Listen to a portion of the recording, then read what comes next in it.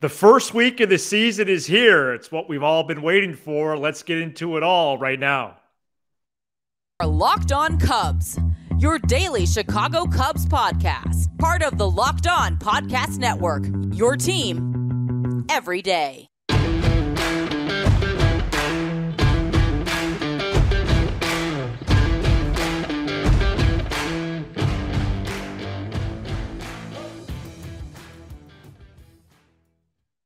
Alongside Sam Olbur, I'm Matt Cozzi, and this is Locked On Cubs, part of the Locked On Podcast Network. Your team every day. Please support the show and be a part of the Locked On Cubs community by following and subscribing on all audio platforms. And you can watch, subscribe, and leave a comment on YouTube. Thanks so much for making us your first listen. Sam and I are lifelong fans, taking our passion into discussion with you on all things Cubs. Today's Monday episode is brought to you by Ultimate Baseball GM. Ever dreamed of becoming an MLB GM and managing your baseball franchise? And this game is definitely for you. To download Ultimate Baseball GM, just visit ultimatebaseballgm.com or look it up in your app store. Listeners get a 100% free boost to their franchise when using the promo locked on in the game. Oh my goodness. Opening day is three days away. So excited to be with you this week. We're going to be have a packed week of episodes for you, including live shows at 7 p.m. Tuesday, 5 p.m. Thursday, and after the final out on Saturday, as opening week is here. Sam, hope all is well over by you, and baseball games will be played this week. Uh, look, before we get into the show, here's what I want to say. As much as I enjoy breaking down the roster, talking about what might happen, talking about Derek in his basement having the Cubs 21st on every single thing, talking about, you know, every projection out there. This is what it's about, Matthew. This week, there's real baseball games being played, and all that stuff, all that talk becomes moot. It does not matter anymore. It is about what happens. You could take the computers and throw them out the balcony window because the real results are going to be happening live on TV. Put away your phone, look up Go to a ball game. It's time, okay? And I, I expect our listeners, I expect you, and of course, I expect myself to elevate themselves and lock in. Tell your significant other for the next six months on Saturdays and Sundays at home games, we will not be doing anything from 1:20 to 4 p.m. Okay. If you want to go out, we'll go out with the girls after the ball game. Okay. Friday night in St. Louis, we're going to do some sort of day event because I got to be home by 7:10. That's what I expect and I want to see. It's go time now, okay? And and, and the, the last thing I'll say is everybody always says accurately in the game, one of the great baseball cliches, that's true. You cannot win a division, you cannot win a pennant in April, but you can lose one. So we, as we've talked about all year, need to lock in every single game in April, and of course, Mar- you know the, the first, the last game in March, and make sure that we stay afloat early, play competitive baseball, and bring it to you every single day. It's go time. I feel like a prize fighter waking up on a Monday morning before a Saturday night uh, he- heavyweight fight. It's go time. It certainly is that, and we're going to go over the April schedule, at least the first few series, uh, during a segment at some point this week. And a player that's going to be back in April, it looks like the chances are increasing, is Seiya Suzuki, Sam. Uh, the Cubs outfielder has made a lot of progress, especially over the last week. First, it was throwing. Uh, then it was dry swings, then front toss, and now on field BP on Saturday. And according to the athletic Sahadev Sharma, with this type of progression, optimism has grown regarding Suzuki's return. Quote, while it was once thought that a good outcome would be late April, a source suggests that by the middle of April is pretty realistic, end quote it's exciting because we know he's going to be an impact bat. You know, we're still evaluating those prospects and want to see him uh, you know, provide a thump in, in, in the middle of the order for for the Northsiders. And certainly, this is going to have some roster implications, or it could. And we're going to get to that uh, later in the show as well. I'm excited because I still remember when the oblique injury broke, and um, you know we we were pretty set that it was it was one of the worst case scenarios. He was going to have to miss uh, time. We right. thought it was going to be six to eight weeks. Turns out it might be closer to six, uh, kind of that earlier part of the timeline. But the way this has gone in spring training, you've seen the obvious hole that Suzuki created in right. And if that hole could be filled by April, you know, middle of April, and I'll, I'll float an, a date out in a minute or two, that's huge for this team. Yeah.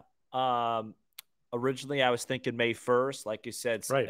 and, and Sahadev was, was supported that. And now we're, we're, we're, we're, we're targeting mid April. I think the takeaway here is, and, and this is why I'm a little bit higher on Suzuki than I think you are, is like he cares. And so it's like he's not one of these guys that that's injured. He wants to come back. He wants to come back as soon as possible. It's obvious that he cares and, and really wants to be great. And so, you know, I think I think he's put in the work. I think he's really kind of convinced the Cubs staff, hey, I, I I'm done being this kind of test dummy of, hey, we just want to make sure you're 100%. Like, I, I the kid gloves need to be taken off. And, and, if I feel like I'm able to play, then, then let's get this thing going. Um, so it's encouraging. Hopefully, April 15th, we'll, we'll, we'll, move that up to the new target date uh, and see if he can get going early and come in and, and have an impact start. Hopefully, this Nico Hoerner thing is, precautionary as well because the, these are the two guys, right? Seiya Suzuki and Nico Hoerner. We've highlighted them all off season. Probably, I would say, you know, the, two of the most important guys, but not only because of their talent, but because of their struggles with their health. Obviously, Suzuki's just had one season. Hoerner's had a couple uh, uh, interrupted seasons. We need these guys to stay healthy. Obviously, Hoerner will be in the opening day lineup. It sounds nothing serious. Very mm-hmm. good news on Suzuki uh, and and hopefully he could come in and you know that, that oblique has to be 100% right because he's going to be swinging in the cold running in the cold so you know you want to make sure that that's fully healed before he comes back but i'm all for you know not having this be one of those injuries where you know we say he's week to week and you look up and it's may 7th and he's still not back yet so uh, excited about that and and and overall outside of the Hoerner bicep thing. It was a very positive weekend, I thought. I watched every inning of every game and um, good stuff. Good stuff. Yeah, we're going to get to that to close out today's program. So, six weeks from the injury is Saturday, April 8th, when the Cubs will be in the second game of their series hosting the Texas Rangers. Yeah.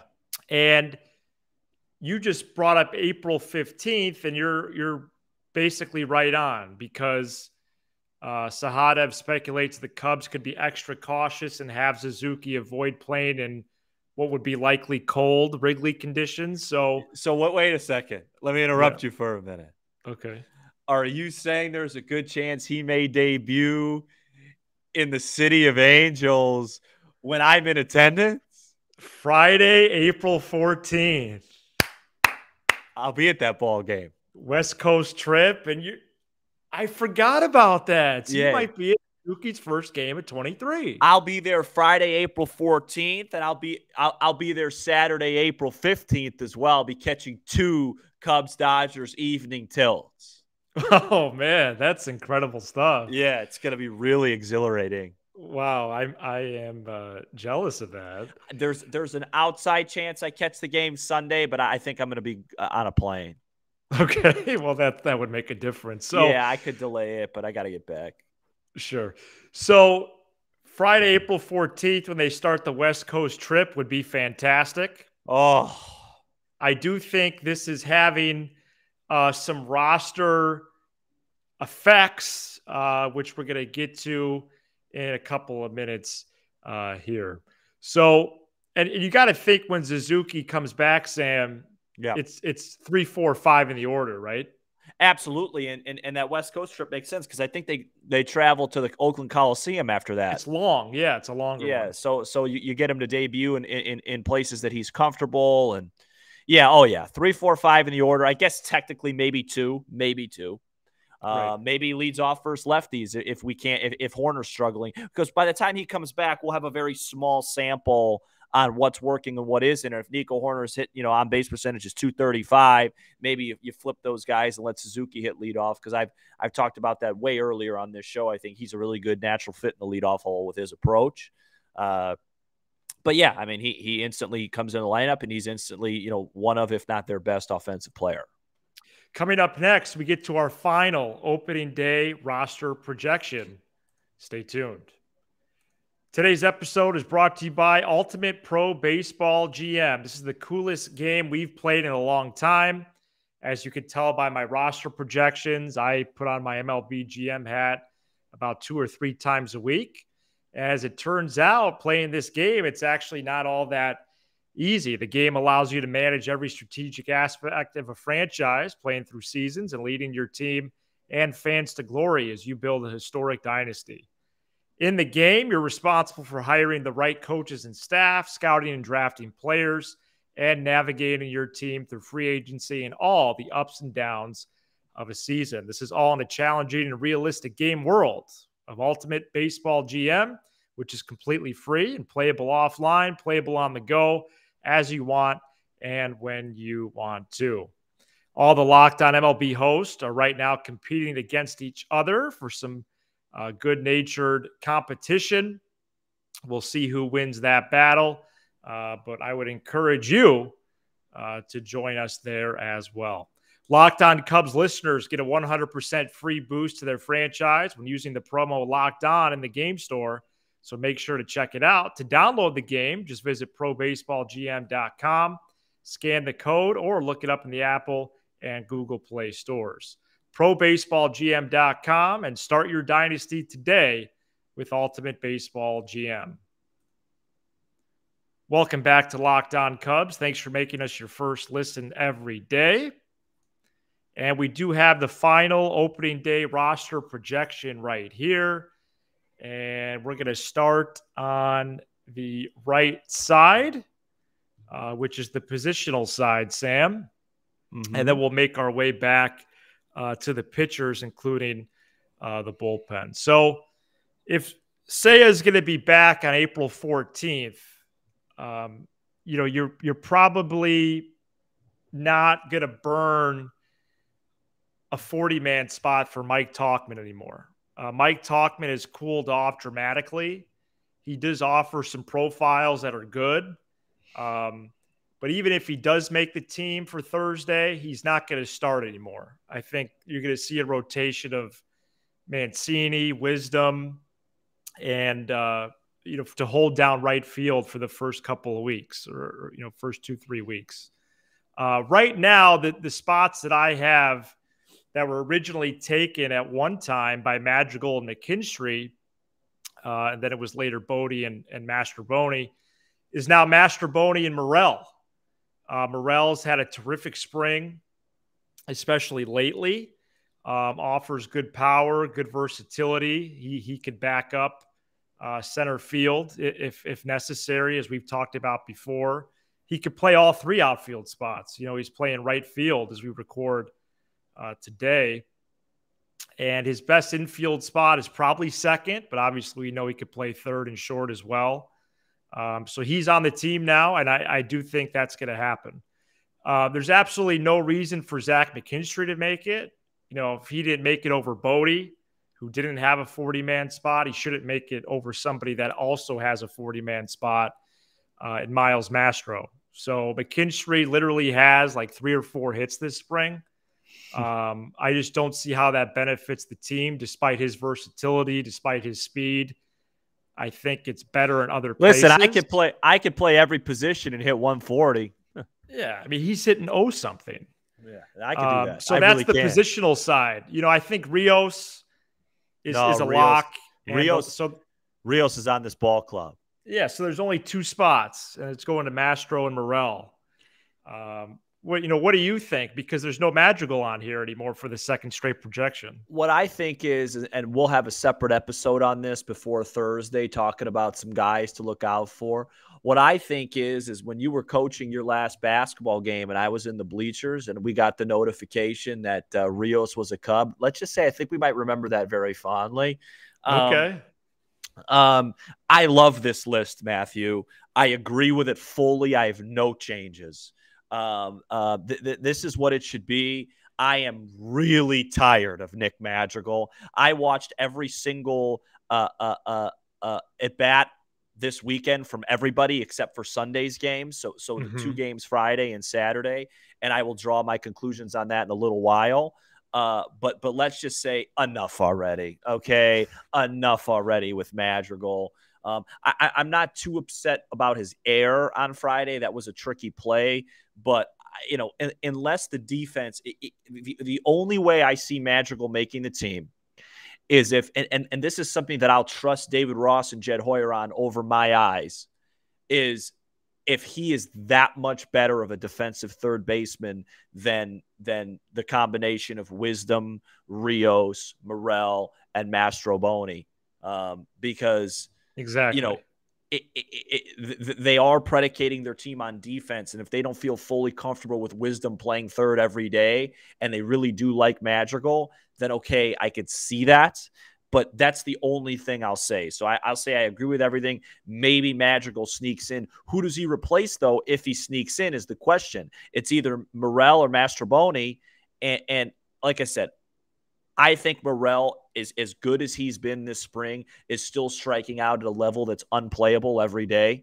Um, I believe his strikeout rate is, is, is still over 46% currently. Yeah. Right now, it's, it's just unplayable. But for a bench piece, when you need a little pop late and a guy with versatility, I would think he has more value than Madrigal Again, unless we're talking about we really don't feel great about Wisdom at third. We really don't feel great about Mastrobuoni at third. We really don't feel great about uh, Rios at third. We need we need somebody steady there late in the games because that's how we're going to win. And then that's it. So so so so so in terms of position players, it's it's it's it's it's a three man race at this point. I agree. McKinstry's done. Uh, okay, good. it, it's a three man race between Mastrobuoni, Morel, and Madrigal for for two spots. Right. Yes, absolutely. And I think you're going to see Rios and Wisdom at third, Wisdom, Mancini, Morel, and right and it's going to change every day. So the bullpen here, you know, there's been a lot of breakdowns and and and narratives over the last week and and, and finally some clarity about Keegan Thompson and Brandon Hughes. And the latest word is that you know Keegan Thompson while he had a velocity drop is 100% healthy. Brandon Hughes is not healthy. He's had several knee issues. Yeah. Um, again, Sahadev, he's the most cited reporter easily on this show. He's reported that Brandon Hughes, as recently as last week, had fluid drained from his knee. No, he is scheduled to pitch in the spring training game on Monday, but he's not on this team, I don't think. Um, it would have to take a miracle for him to make this team at this point. At this point. I think Thompson being healthy, unfortunately, cannot go the multi innings if right now but I think he could get there. And yeah. so for now, your multi inning guys are Assad and Alzolay. You have Keegan Thompson being more of a one inning guy because despite his drops, he's been excellent. So what is he going to do in Des Moines? Um, so I think you see him make it after all. Um, I think it would be a little bit of a risk with Hughes going to the IL, not having any lefties, even though Leiter is a matchup lefty, and I have him making the team along with with Julian Merryweather for those last couple spots. Yep. Um, so I do have Ryan Borucki, uh, Mundelein uh, Mustang, uh, making the team as the he's, lefty. He's throwing well. Yeah, he's throwing well. So that's my pen. We know about the rotation now. Uh, Wesneski was officially named the fifth starter on Saturday, and he might uh, so be the second. That's starter. what I have for arms. He might be the second best starter on this team. He might be the best starter on this team. And, and, and real quick on Wesneski, I got a couple texts about this yesterday.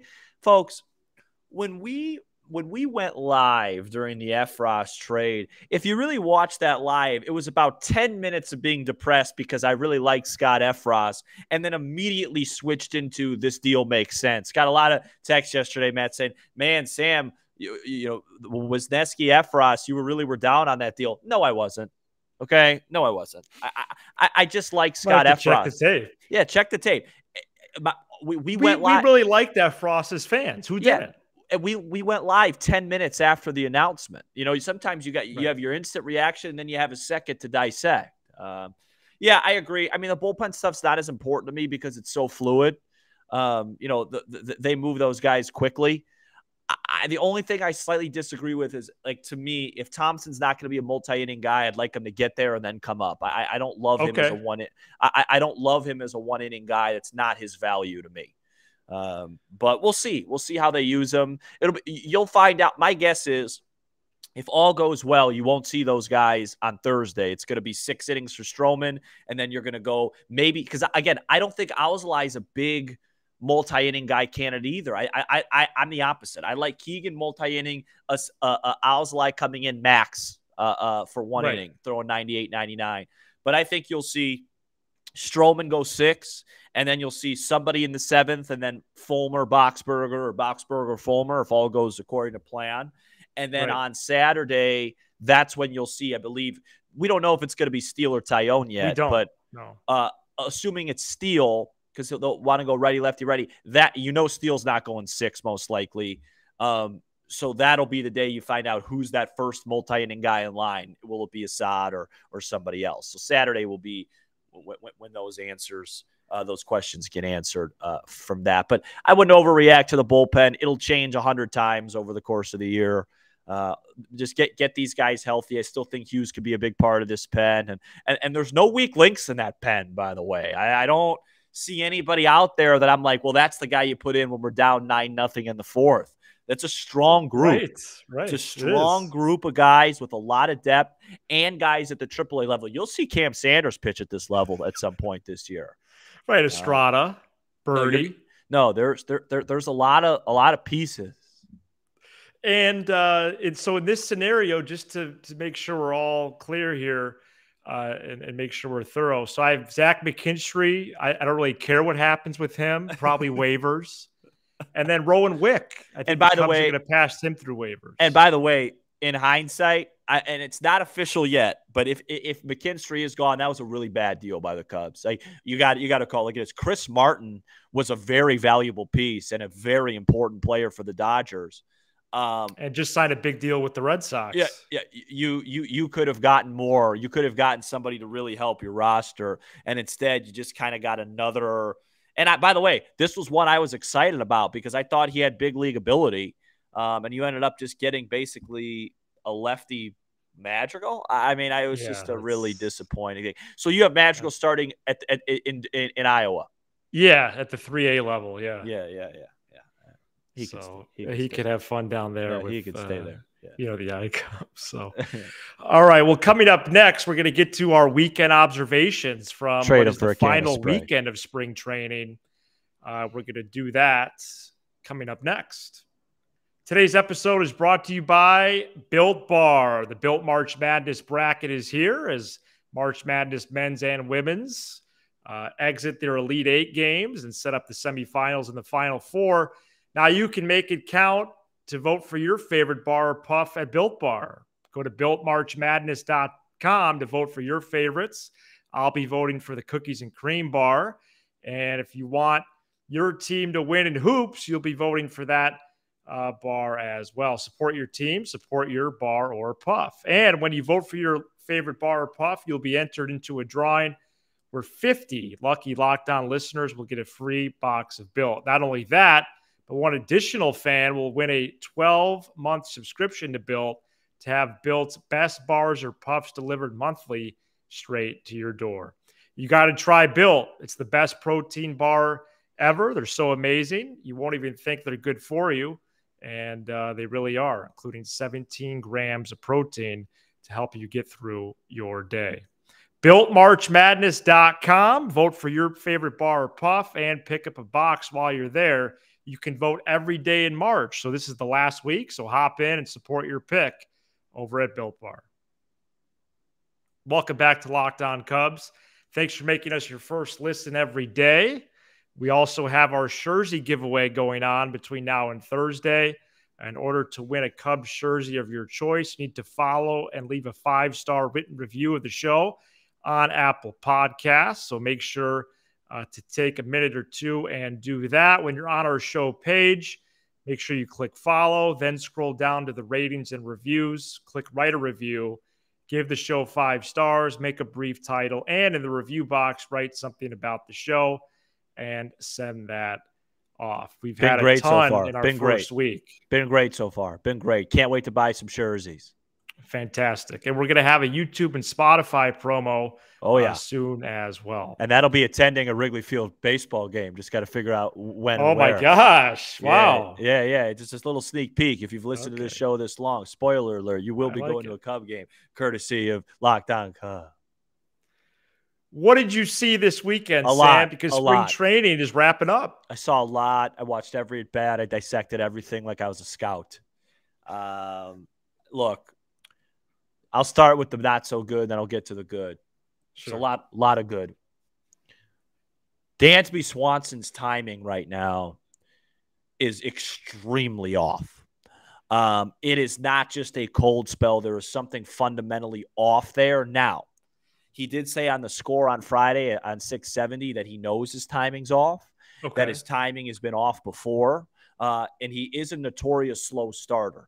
So I think this is going to be one of those things the Cubs are just going to have to stay afloat in April till he figures it out because I would be very surprised at this point. I know this might startle you a little bit, Matt. I would be very surprised if he has a good April. I really would. I mean, he, it, he would have to turn it around very quick. Like even his hits, he had he had a hit the other day. It was an infield hit. Um, no hard contact. It's just his time. He, he's swinging at the right pitches. He's just off. Um, I've looked at the splits. He is not a good April performer.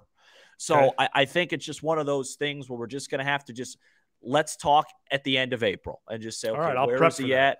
Where, where, where is he? Just play good defense, and hopefully we could pick it up because there are other guys that are having great at bats. I'd like to highlight Patrick Wisdom, who you know he's got that big knob, and that kind of helps him with bat control a little bit he's put together good ABs. It's such a tough opening weekend for Wisdom because if I yes. were to if I were to pick three pitchers in the National League, I don't want him to face. It might be these three.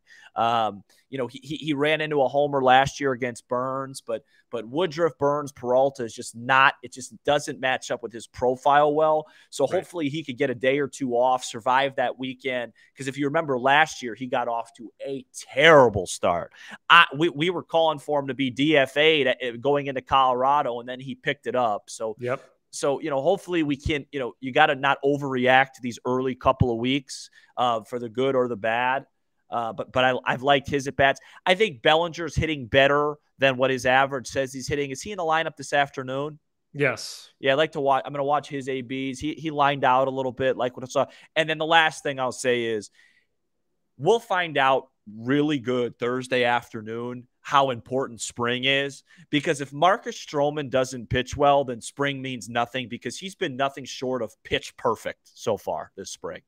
He, he, he's had tons of movement, tons of command in the spring in WBC. He looks locked in. I have my fantasy baseball draft Monday evening. He's somebody I'll be targeting because he just looks really good. And if he comes out, he just gets belted on Thursday, then my lesson will be learned for next year that I'm just not even paying attention to spring because I'd be shocked if he doesn't perform well Thursday afternoon. He's been outstanding. So you know, pretty much good. I, am not gonna I'm not gonna be redundant. Madrigal McKinstry made that decision almost impossible, both performing at just you know a, a single A level offensively. And it's not just the results with Madrigal Matt. It's the at bats. He's striking out a decent amount. Check swing right. ground balls to first base. No hard contact whatsoever. It's it's troubling. Um, Mastrobuoni continues to do well. He had a little bit of a rougher day Saturday, but but a good day Friday. And Rios, uh, you know, Rios isn't going to be a player that has multi-hit games, but when he gets hits, he gets them, and he's not looking overmatched at the plate, even against lefties. So I'm excited to see what he brings to the table. Again, we're facing the best pitcher in the National League or one of the sec one of the two or three best on opening day and then one of the five or six best in day 2. So I remember saying this on our old show last year. Don't overreact, and it turned out to be funny because they won both games. But don't overreact. Like these guys are really tough. Let's give them a couple of weeks before we start drawing conclusions on where guys are at because that's that's a tough assignment to start your campaign. We will be live Central Standard Time, 7 p.m. Tuesday, 5 p.m. Thursday, and immediately after the final out on Saturday. So please join us live for those three shows our regular episodes uh, for Wednesday and Friday will be at those times, Tuesday and Thursday evening, plus a bonus show right after the final out on Saturday. If you are uh, somebody that watches the program, just make sure to go to the live tab uh, if you're not with us live, so you could catch that or rewatch uh, on demand. And be sure to hit that subscribe button for Locked On Cubs on YouTube and smash the like button for all your favorite Locked On Cubs content, Apple, Spotify, wherever you get your podcasts. And we have our text and voicemail line 312 834 4634. He's Sam Olbur. I'm Matt Cozzi. This is Locked On Cubs.